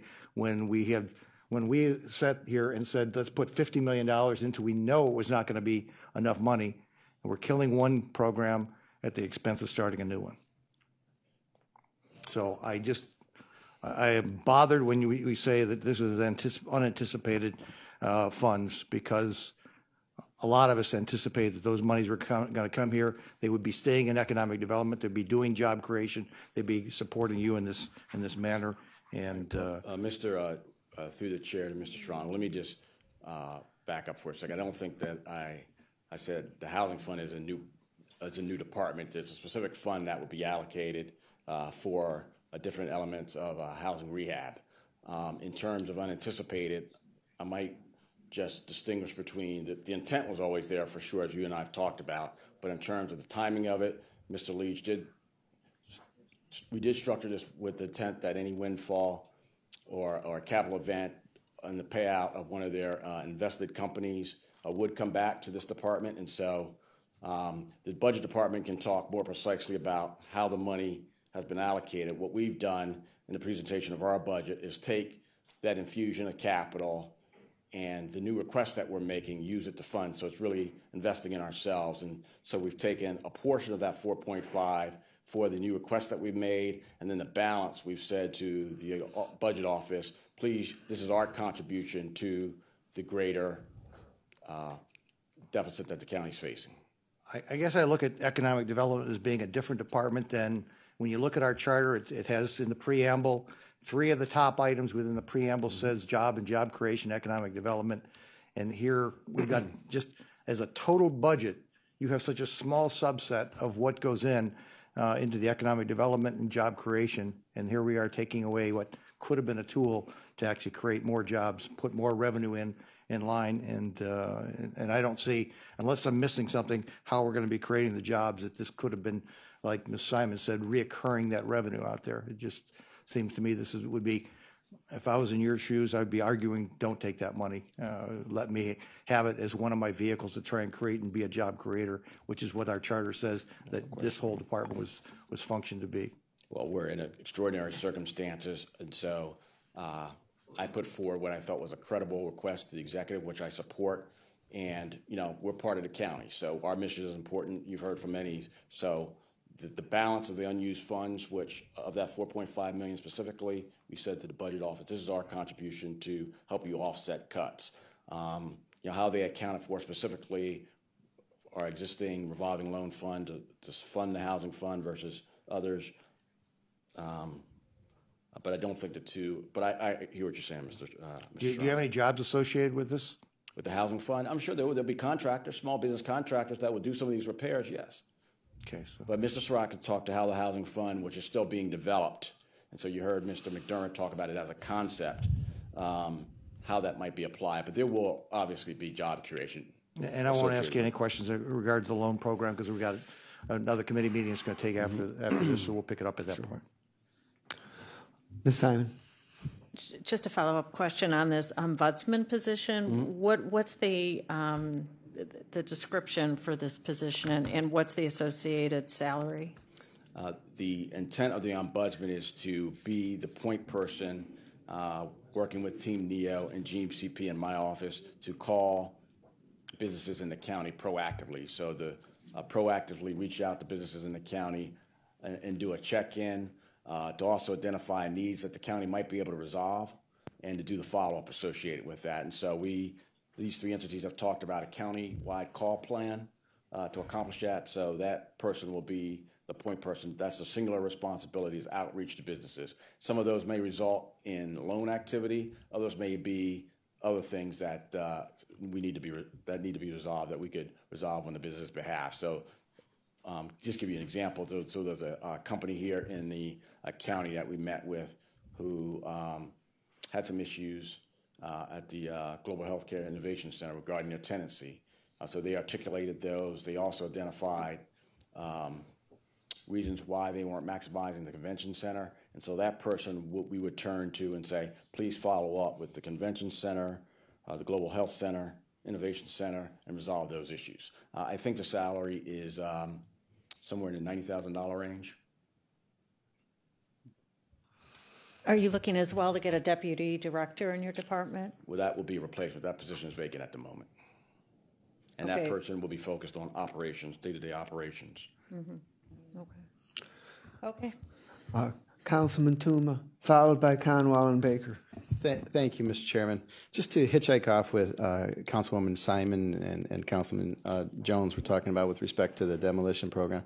So just to clarify, did, did you state that it, it's your opinion that the, the crisis with respect to, to blight is, is over or taken No, care I didn't of? say that. What I said was that this program, just uh, as you've seen from, has had some success. And so there's been some success around mitigating uh, uh, the blight problem. And now uh, we're at a pace where we can methodically uh, address the blight that remains. So I would never say that it's been eliminated. I don't think I said that on the record. Okay, I, I, that, that's why I'm asking. Um, so, so why not stick to the program that's in place and, and do more to try to eliminate the, the blight that is out there for, for Cleveland and the suburbs and, and, and rather than moving on with respect to rehab? I mean, why not focus on the problem that's out there, that's still out there? I think what we've uh, articulated here uh, allows us to address, I mean, the amount that we put forward in this budget for rehab for this housing fund is a very modest amount, so it's nowhere near what was budgeted for the blight, to address blight, and uh, is to uh, really provide uh, some um, some specific investment in one of the elements that the Housing uh, Coalition and the Housing Plan recommended, that the Housing Fund be fully, not be fully be funded, and that's, we wanted to make a good faith down payment on an element of that plan. And, eh, you know, there's been this debate, rehab versus, um, and I- my personal belief is that we should try to do both. Um, But uh, this is a very modest investment in that component of the plan. It, and so you're of the opinion that now is the time to do that as far, as far as moving forward with a rehab versus sticking just with, the- with removing blight? Well, I'm accepting the recommendation of people who are far more uh, steeped in this space than I am. Uh, The housing uh, partners who helped uh, work with uh, our housing leader to create this housing plan, and that was their recommendation. Now, Okay, all right, that's fine, thank you. well, that was one of their recommendations, and so we uh, have used this modest amount of money to support that.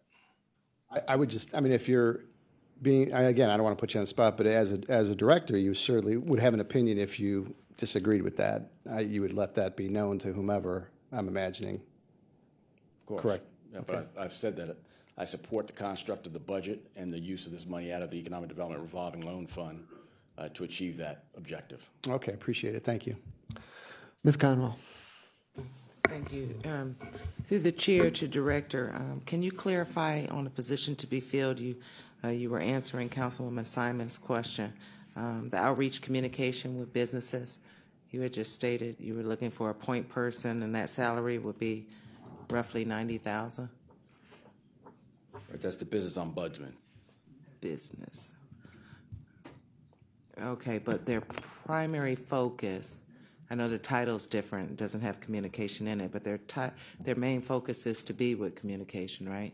To be able to communicate back and forth in, internally and with the, the businesses, correct? Correct. Okay, So so, outreach to the businesses, so every business in this community in conjunction with Team Neo and GCP. Okay, and so we already have, uh, uh, administration already has two communications departments, one for HHS internally, and uh, administration has external communications. Why couldn't this be run through their department already? Why are we creating something new? Well, it's not a uh, communications, primary function is not a communications function. Well, that's what I had So, asked, yeah, it's an outreach function, an engagement function with the business community. So is that going to be their only function? Because s- communication is going to play a role. I'm sure that communications will, and, and when that occurs, we will work with the Executive's Communication uh, Office as well as any relevant department. So I could imagine if, if Public Works, there might be something there that makes sense. Um, You know, t- a lot of these businesses oftentimes will uh, uh, request infrastructure support from, from the county. So I can envision where that would be a, a time where communications uh, may be involved. But it's not, uh, communications is really a subset of what they'd be doing. It's, it's really business engagement, proactive business engagement. And right now, uh, we are not doing that uh, nearly at the level I'd like to. So when you talk about proactive business engagement, what do you foresee in your mind? How do you, how do you role play what that position will be like, that individual to do? Uh, so working again with these our two external partners, Team Neo and the Greater Cleveland Partnership, we would create, and there has been created, a list of businesses in the county, small, medium, large. So this person would methodically work with those two entities to identify and create a call plan for outreach to the business community. Uh, and doing those calls, uh, whether it's our assigned businesses, uh, we would, you know, ask them about uh, their level of satisfaction with county services. We sync with and coordinate with the municipalities that these businesses are in, then identify any issues that um, the business is experiencing, and there may be none, and there may be some where we can facilitate resolution of an issue uh, with our municipal partner. Uh, but it's really proactive engagement and something that the executive has really said, look, we want to be proactive and not reactive. Right now, for the most part, we are reacting to the marketplace. We're not engaging in uh, activity in, in, a sophisticated, structured way. I, I, get that. You said Team Neo, and who was the other partner? Greater Cleveland Partnership. Okay, and so usually, who's going to, if, if we create this um, ombudsman's department, and we have this person that's going to be um, proactive with businesses, but we're also partnering with two uh, Neo, Team Neo, and GCP. Who's going to be responsible responsible for the oversight? I mean, we create these things all the time, but then no no one actually has oversight from the county. So, will this person have oversight over those two organizations, making sure that these things are being done? Well, the person will report to me, so ultimately the oversight will be my responsibility.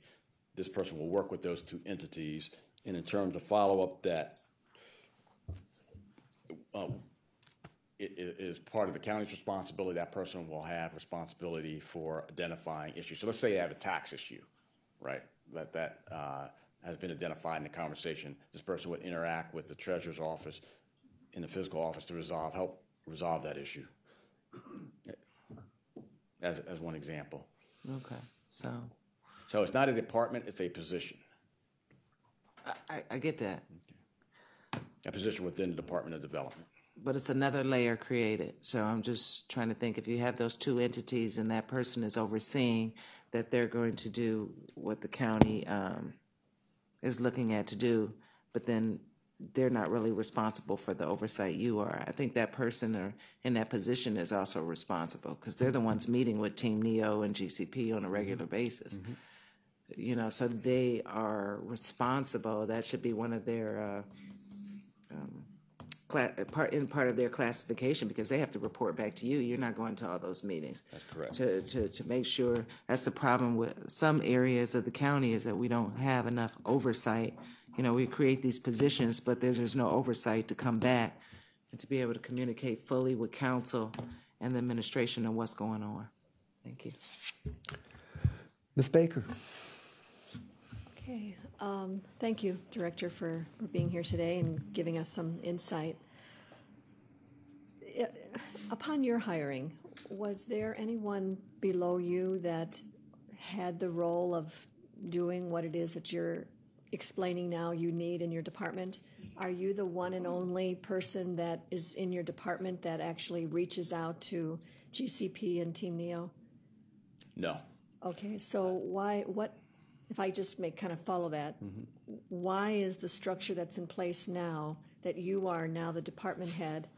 And I'm not sure how many people answer to you in that role of reaching out to these other uh, organizations. Why is it that uh, that's not enough? Um, I'd like to have someone who is totally focused on outreach. Uh, we do have professionals who part of their job description uh, is uh, the outreach to the marketplace. Uh, but this person would really do nothing but that and then work with those folks, uh, our loan officers, in terms of structuring loans and things like that. Um, if I may, who will, what, then those that are in your department now that answer to you regarding their outreach, with this person now taking their place, what will the other, what will these other in, employees or people that answer to you do now? Are they going to change their uh, job description? Well, they'll do a, uh, they'll do some outreach and they'll do loan uh, loan structuring and underwriting. Uh, right now, uh, you have to kind of look historically where we have had, like a lot of departments, you know, a, a decrease in staffing, and so we've become not as proactive as I think we need to be. So um, when the executive, and I think when he first arrives, heard kind of this feedback from the business community about having an ombudsman that can both do engagement and then resolution of issues. Uh, since I've arrived, what those two business entities have said is, and they've said it consistently over the uh, 20 months I've been here, you know, what's the status of the call plan? And so the collective call plan. And so we have not gotten to that for a number of reasons. And so the thought here was to honor the executive's vision, but also have a single point person uh, that will do nothing but. Now I do it on, on a on a on a on a uh, uh, inconsistent basis, uh, but it's not systemic. It's not that's not what I do day in and day out. Uh, so it's you know more episodic. Um, and the times that I have done it, we haven't the handoff between business follow up has not been as satisfactory as I would like. Uh, so single point of focus. That's all this person does. Working with the existing professionals that we have, and so we'll structure that, and and we, then we should have some great results. If I may. Um, Please continue. So I know that you've been really unexpectedly, I think, in your term, um, preoccupied with the loan and the protocol and all that that has taken a lot of your time in trying to rein that in and understand it and give reporting back and be accountable for those dollars. Mm-hmm. But I would think that there'd be a point where you've got it, it's manageable, you have the procedures in place, and your time would be freer.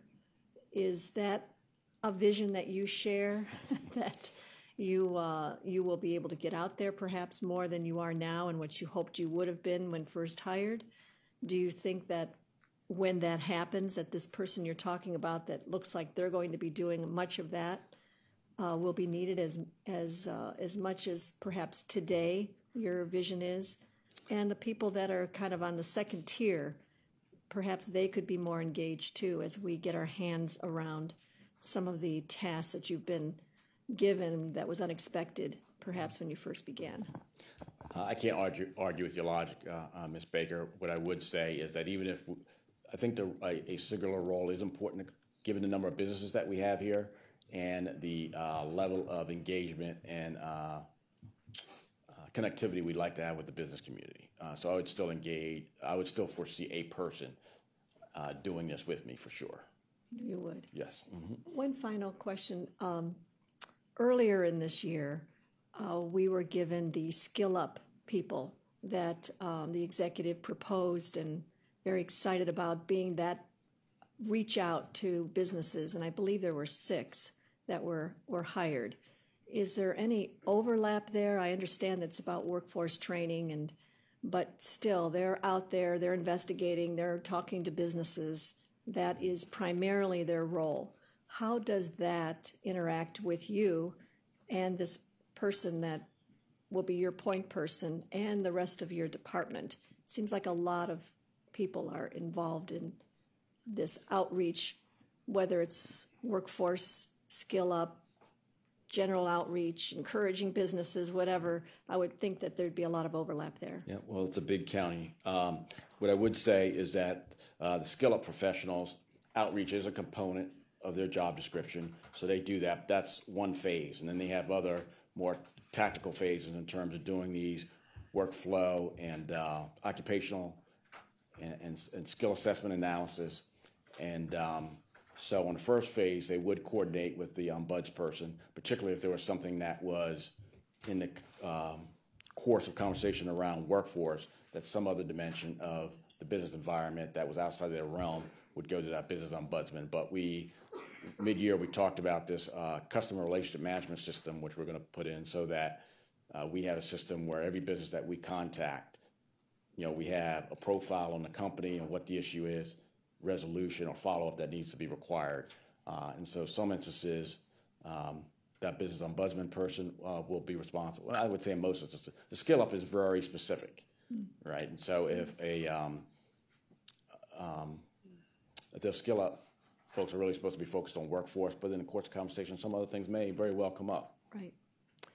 All right, thank you. Okay, I'm, uh, I'm looking at the clock and, and knowing that we have another uh, committee meeting at three o'clock.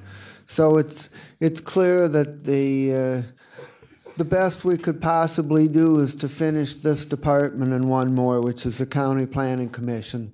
So I'm gonna have to apologize to, uh, Director Dever, uh, uh, Ms. Ribka, and, and Mr. Daly uh, for uh, Department of Public Works and Soil and Water and so, soldiers and sailors, and, and we're going to have to ask you to come back uh, uh, a week from today at one o'clock, and uh, and I apologize for that, and uh, so we're going to get through at least this one and see if we can do one more. And we have Miss Simon followed by Hairston Jones, and Conwell.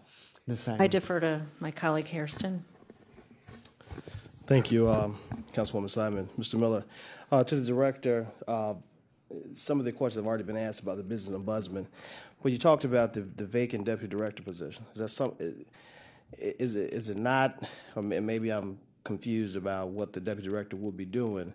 Maybe is that some, some of the things that you've outlined with the, the new $95,000 position that the deputy director can be tasked with and the other subordinates who are all within the department be able to handle some of the, the handoff uh, with some of the requests that the business community have made. Uh, if I understand your question, Councilman Hairston, you're asking if the deputy director can assume part of that role.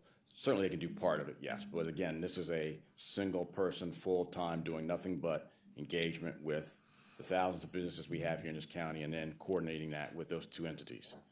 Sure, and I understand that, uh, but but you have Mr. Surratt who engages with the the uh, CD community. You have Mrs. Parks who who engage with her her community in the in the in the, in the world that she deals with within ED and CD.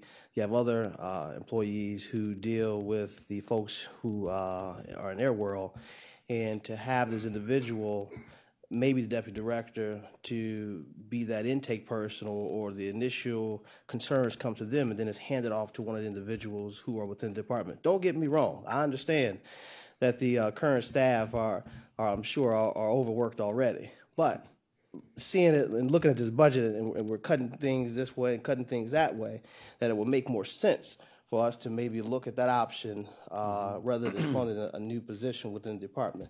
You know your department more, uh, much more than I do, much more well than I do. But just a thought as I'm hearing some of the things that uh, you stated that the uh, ombudsman will be doing. Now, the sixty thousand dollar brownfield analyst would that be an additional person, or would that be uh, filling the vacancy that's there. I know we had one person who was handling those brownfield intake uh, applications. Right, that is a, uh, that's not filling a vacancy, that is a new position. And so intentionally, what we've done here is, know, this committee, or certainly the uh, Economic Development Committee knows there was a backlog at one point this year on the brownfields. And so uh, that is additional capacity to, so we've got a, that backlog has reappeared. It's not as, as acute as it was is to help make sure that we are keeping that backlog to a minimum and being more proactive in working with our communities in terms of identifying uh, other uh, brownfields opportunity uh, and also working with another department. So the sustainability analyst, periodically we've gotten uh, requests from the Office of Sustainability uh, to look at uh, deals that have a sustainability or environmental component. So they would, if we can find the right person, would also have the expertise to support that office as well. So it's really looking at how to best leverage and, and support two offices. But brownfields and brownfield sustainability overlap, as you know.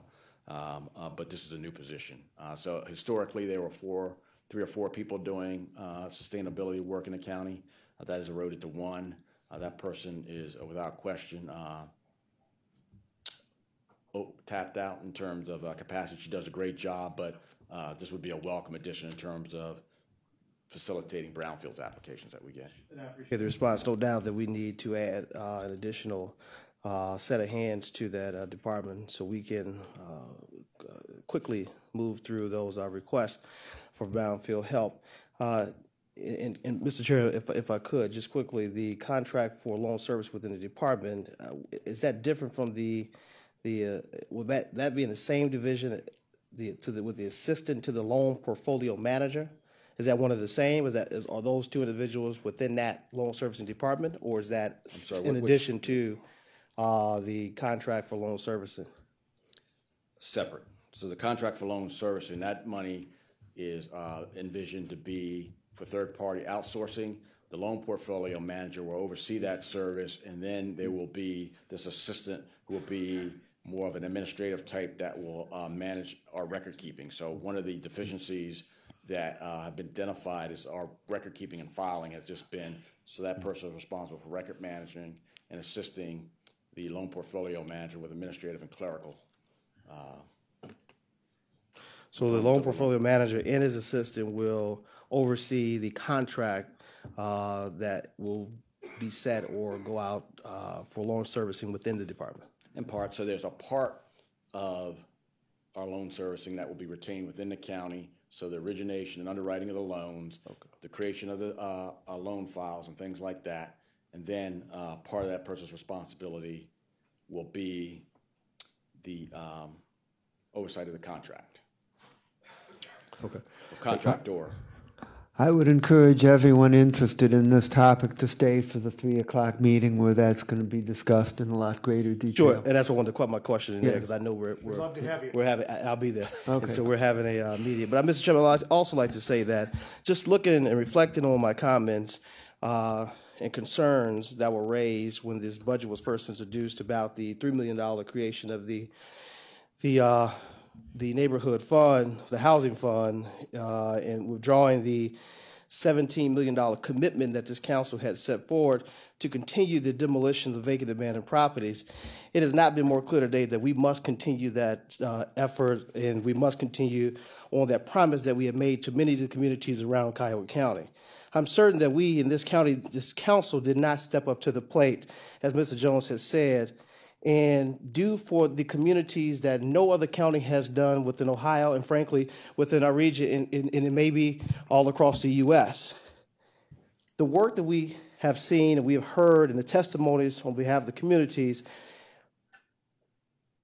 we don't want to see that undone. We don't want to see that all unravel. We know that the properties that still are standing and exist in our community that line our streets pose serious threats to the citizens' safety and, and health and well-being on a daily basis.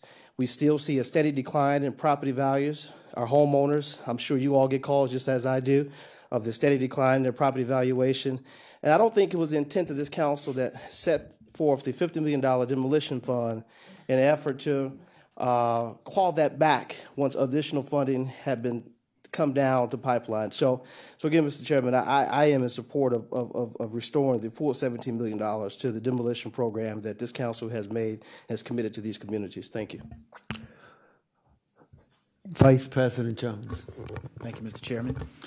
Uh, Director Carter, we, we heard during the presentations, the public comments, uh, the statement that uh, sixty percent of the monies had gone to suburbs, forty percent to Cleveland. Um, Can you confirm that? Is that an accurate? Has, is this the ratio of how the monies have? Yeah, I'd have to defer to Mrs. Surratt, who would have those numbers and how that money has been spent.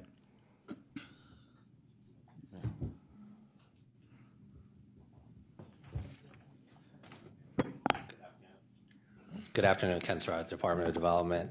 Um, The, the, the question of the, the allocation of the resources, what Mr. Ford was looking at, um, when he talks about the, the need, he's talking countywide. So he's talking every single potential demo there is.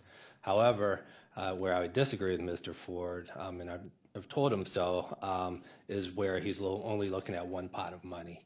So if you're looking at countywide demolition need, you should be looking at countywide demolition dollars as well. Um, if you take into consideration hardest hit funds, 90% of those dollars are going to go to Cleveland. Um, or at least that's what in the last report that I saw we were reimbursed for 90% of those properties were in the city of Cleveland. Uh, and then Cleveland just recently, um, you know, in the last half of the year, announced five million first, and now I just two weeks ago another eight million for demolition. So I think all those monies have to be considered um, as well when you're looking at the, the balance of ad- of addressing the need. Um, so it's more um, my estimation is probably more like 70-30. So I don't think we're as far off as Mr. Ford stated. Okay. And, and we're here to serve the entire county. Um, I am elected by the Cleveland and, and suburban communities, and we created this to find the right balance, the right balance. And uh, let me ask this question: When we first created the demolition fund, there was a, a, a policy where each round would be for one million dollars. Any city that captured the one million dollars would move into the next round. Any city that did not reach the one million dollars would not go into the second round. Is that an accurate characterization of how the policy was initially written? Um, to the councilman through the chair, um, it's it's not exactly correct. So the legislation is what it says in your first application. There's a maximum award of a million dollars. Um, every subsequent round after that could be up to two million dollars. Um, and the way to get a, a, subsequent award, you must be with at least 80% of the proceed orders, meaning you've taken all the legal steps necessary um, to demolish a house. It doesn't have to be down. You, you've, you've gotten the proceed orders um, in order to then apply again. So you need to get 80% of whatever you applied for in the previous round. Okay. Um, we probably need to have more conversation later, but I, would like to hear more about the uh, the balance uh, of how and, and if we're reaching our goals. One of bringing down, uh, trying to reduce the the drop in property values.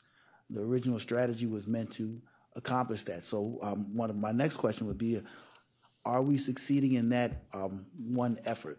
Uh, and do we know, is it too early to make that determination as of yet? But are we impacting the, uh, the drop in property values with our demolition efforts? Um, that, that's to the councilman. Uh, that's a great question. Um, as I think you all are aware, in 2018, um, actually, I think the process already started um, for our uh, latest appraisal, and this is where we actually go door to door. Um, our, our, our appraisal group and out of the fiscal office. So uh, I think you'll have some really good information um, and, and, actually see that. I think looking at just kind of um, sales, um, I think there's many markets that are strong. You've seen sales go up. I think that's a component of the actual appraisal itself um, is the uh, kind of arm's length sales. So I think that that is a good indicator in many communities. I'm not going to say all. They're definitely still um, recovering communities. Um, uh, so uh, I, I, think you'll see some of that um, bear to light. One of the things we learned in that um, the the study, I think it was referred to earlier about um, the impact of demolition on property values, um, is that uh, that the um, the impact is not as great um, in the weaker markets. The impact is actually stronger as you are in stronger markets.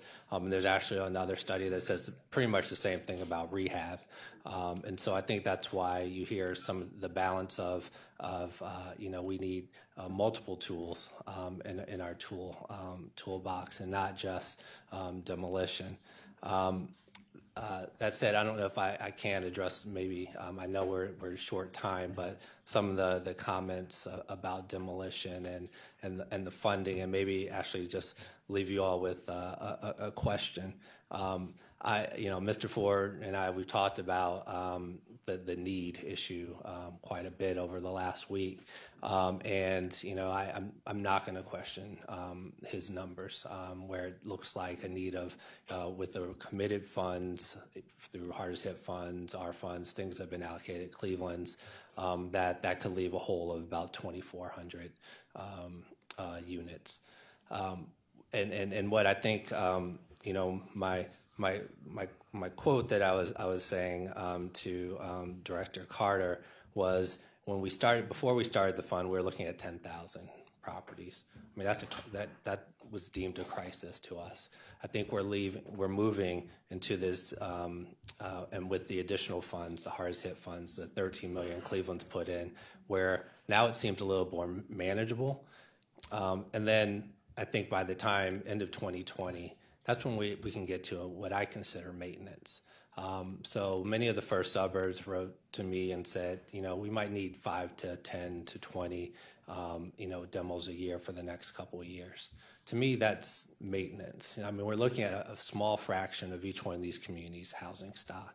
Even 2,400 in the city of Cleveland is probably 1% or less than 2% of, of their housing stock. So, um, you know, I, and again, I don't want to minimize the, the, the, the, problem because if someone's living next, if I'm living next door to a blighted vacant house, I want it down. I get it. Um, but the one thing that um, I feel I've learned the most through this whole process is it's not just the dollars. And that might sound funny, and I know I'm getting some, some looks, and I've, I've said this to other people. It's not just the dollars. We've had $42 million budgeted over the last two years. We've only awarded 32.5 million, meaning we haven't had the other eight. Part, you know, so in, in my idea, my thought is, well, you know, if we had the money available, it should have all been, there should be zero dollars left at this point. There really should be zero dollars left, but they're not the deed dictates that, that, that we need the money. I get that. But the problem is in the spending of the money. So in order to tear down a house, well, two things have happened. One, we've had an influx of $50 million that we weren't expecting. Um, so there's other money that came to the pipeline. Um, but the other part is um, an understanding of the, the process. Just because a, a property is identified as a blighted house doesn't mean that it can be torn down the next day if you have the money there's legal processes that need to take place. If it's tax foreclosure, you know, there's that process. If it's a nuisance abatement um, process, it's that process. This isn't always a quick process everywhere. And in those nuisance abatement processes, um, we've seen um, where, you know, to the good end, where people have pulled permits and fixed up their house once they get notified, and so that could come off the list. Um, to people pulling permits and then not fixing up their house and then appealing again. Um, there's kind of, um, you know, inspection. They don't want people to come in. You have to get a warrant to get inside their house. So you can imagine all the legal steps that are necessary to take down a house. Um, you know, and, and Cleveland, you know, uh, I think feels that the, the round structure has, has handcuffed them. But I would just say, well, they just got another $13 million. I, I, and, and you know, five of it was announced five months ago. So how quickly are they spending the money that they have themselves that they don't have to go through us? You know, so I, I, I just want to. I think that there are. Um, I understand the concerns. I don't. I don't disagree with the need. What I'm what what we're proposing is actually a delay in the funding, which I which I support because I think it gives us the time to make sure we get through the legal processes, build that pipeline in every community that needs it, so that when we have the dollars available, it can actually be spent. Well, and Mr. Chairman, if I might continue my question. Okay, uh, before you do, uh, it, it's clear that we're not going to get any beyond Department of Development today, so I have to apologize also to Glenn Coyne from the Planning Commission and say that we're going to have to ask you to come back next Monday. Uh, Vice President. Uh, Mr. Surratt, you, you implied that the $9 million that we have allocated to this point uh, for, for the, uh, that has not been used as of yet. Uh, you, what I heard was that you think there might not be as much need if the money is still sitting there. Is that what you're trying to what you're trying to convey? I'm saying that I think the fact that there's money remaining makes me um, not question the need, but question um, the ability to spend the money immediately, okay. which is why we're asking for a delay in this funding. I would not consider a delay when the need if the money is there, there are other factors. The, the, the paperwork around getting the, the, the ability to demolish. Cities have to reach out to, to, to owners. There, there are other factors. Um, I'm not convinced. I'll just, I'll leave it. I'm not I, I understand. I with what you think the just other the factor that um, other factors that I, I feel play into um, this recommendation are a couple twofold. Um, to reduce blight, you can do two things: you can fix it, or you can tear it down. Um, uh, so I think that um, there's actually initiatives to actually start fixing.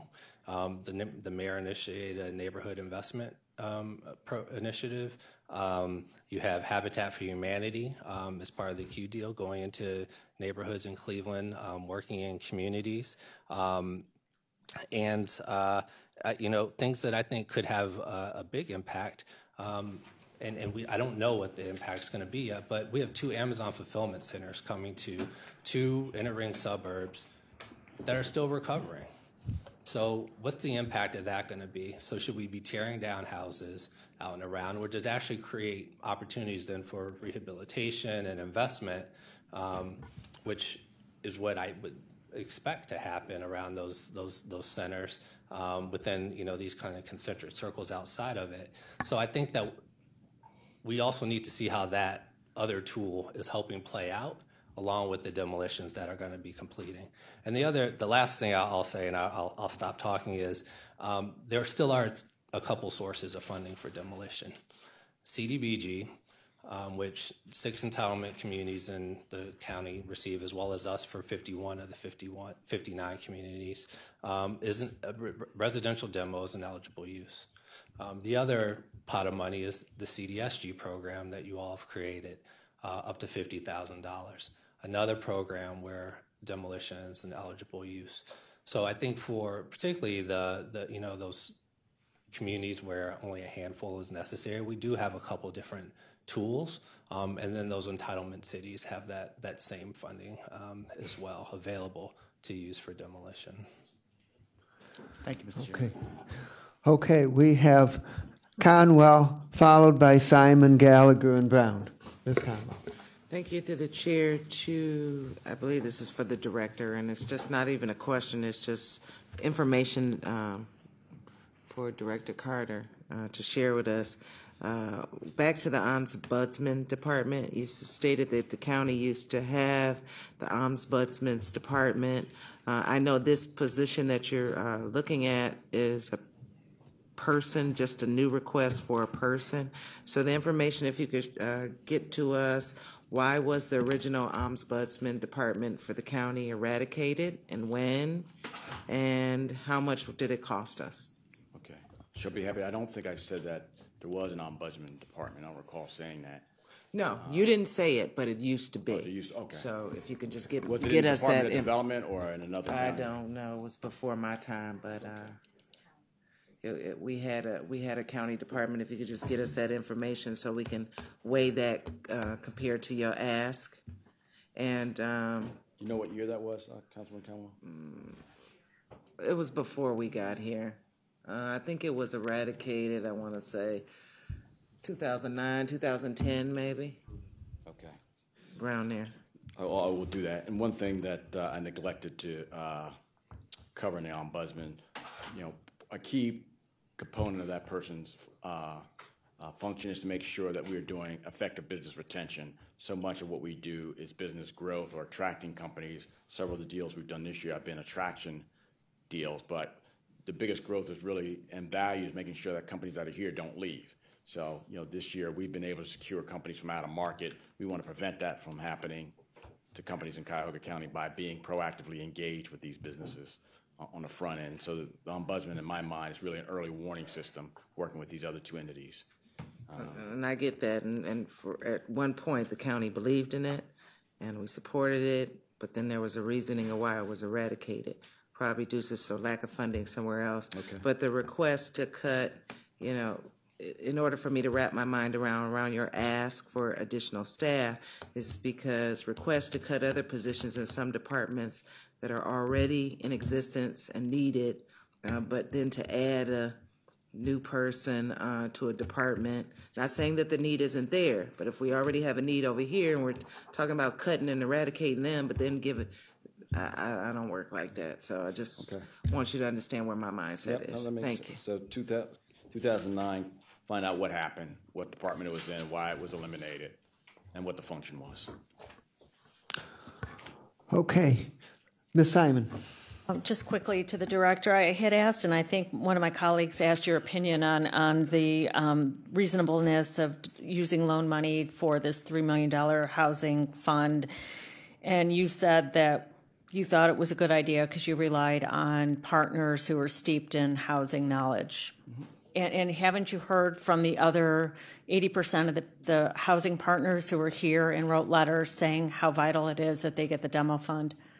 Well, I, I, I did, for sure. So why is it, and maybe this is a question for Mr. Surratt, that when we rely, when we say we're relying on partners, and, and what we do is we cut our demo fund, but yet find a new source of um, revenue to support a housing fund. How, can you explain that as a director? Do you support us restoring the housing demo fund? Well, what I support is what's been proposed in the budget and the mechanism that was used to create this housing fund. I think Mr. Surratt really effectively addressed the question that you have to have multiple tools in order to address Okay. blighted issues. Uh, we took the recommendation of the Housing Coalition that co-wrote the housing plan and felt this was an element that we should lead with with a modest investment. So it can't offset all of the need from the, you know, d- delay in the demo fund, but it is a significant Okay. statement that we're making in support of So you this plan. agree? Okay, I heard you. You agree to, to cut the demo fund by 17 million no, and no, use that's not what three. I- Councilwoman, You're the director, and I'm not going to argue, but you can come. You're the one at the top, and I want to. What I'm hearing is shocking. I just have to say, from Mr. Surratt in this department, that you're going to suggest for one minute that you know cities should be relying on CDBG money or SD. That, that's just absolutely absurd. You know how that's been restricted and it's cut by the feds, and um, we're we're in a crisis and and to find new money for for rehab when no investors are coming in right now when you have these properties that are in disrepair and it's blighted so that's my comment I, i'm shocked and I- i'm disappointed okay i heard you. You agree no, I with ken no, no, surratt but- but let it's me, fine. uh, With your permission, uh, just say, I think what he was articulating was that there's other sources of funding that could be used to offset some of the impact of this. In an ideal world, we wouldn't, you know, we're in a budget, so we've made judgments and I just wanted to know what your position was, and you, you've made it clear. And the reason we're not spending the money is because there's backlogs. The land bank has backlogs because cities might not have the capacity, but they're waiting. And when you pull funding for cities like from Warrensville Heights, or you know, when they're ready to go, and you pull it because time's out, when you know there's a need, that's not okay. And I'm looking at Mr. Surratt. So I'm just, this is my, it's, it's, this is something that's um, shocking to me as a council person who put this together with my colleagues and, and to hear back from the housing partners about what their needs are and to only, re, only listen to a small segment of that housing coalition, which is what the case is, is shocking. So I'm going to, we, we have a meeting and Mr. Gallagher needs to ask a question. Okay, Councilman Gallagher has deferred, and, and uh, Ms. Brown is next. Thank you, Councilman Gallagher, and thank you, um, Councilman Miller. I, I, I guess my question kind of speaks to this issue as well. Um, Mrs. Surratt, you, you spoke about. Um, I don't. I don't. I didn't take it as the funds weren't needed. I understood it as a process and protocol issue. But when you speak to that point, um, my question is: the demolition funds that would be used to fix the properties. Do you think fixing them will be done faster than dem- demolishing them? To the councilwoman, that's that's a great question. I, I don't know. I don't think anybody knows that. Um, you know, I Okay, I were- we don't have to go because we're, we're, we're short on time, so that you're not clear on that. The um the the other thing, and, and I don't mean to be rude, I just know that we're short on time, uh, Mr. Surratt. So I just want to get through the the questions questions that I do have, so maybe that you can think about these as we move forward. Um, would those funds be considered? Would the people who are in line for demolition that are maybe appealing or contesting be considered for first right of the repair funds, if you will?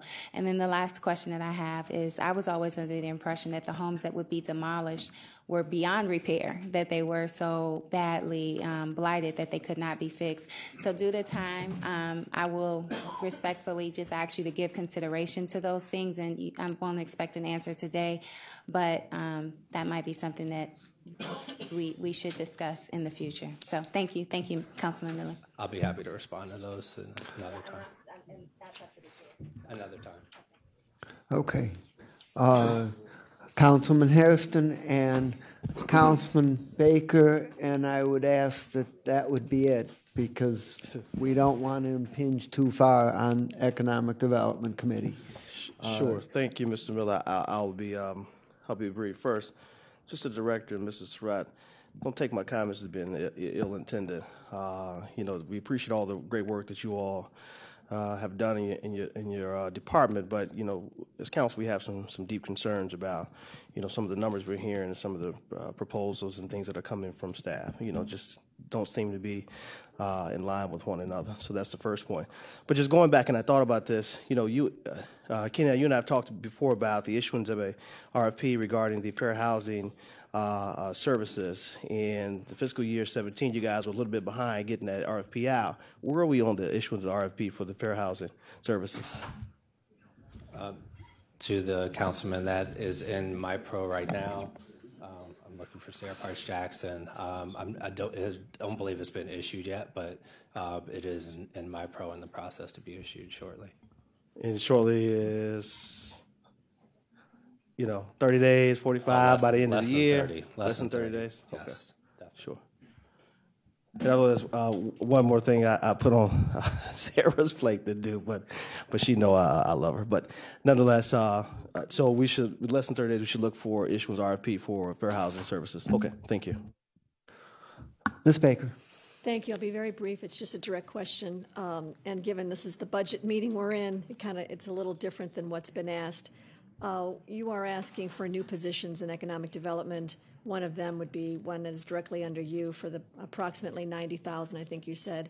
I think it would be appropriate to find out the six new positions that we, um, that I um, stated earlier of the upskill it would maybe give us a little more of a comfort level to know just what the accomplishments are of those six, uh, what companies they've assisted, and um, you know what type of assistance that they've given.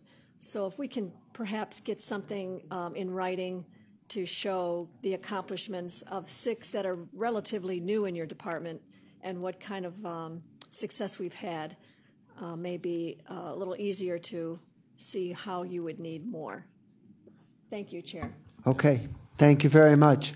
And uh, so that the uh, uh, director, I have some questions, but we don't have time for them, so I'll deal with them offline.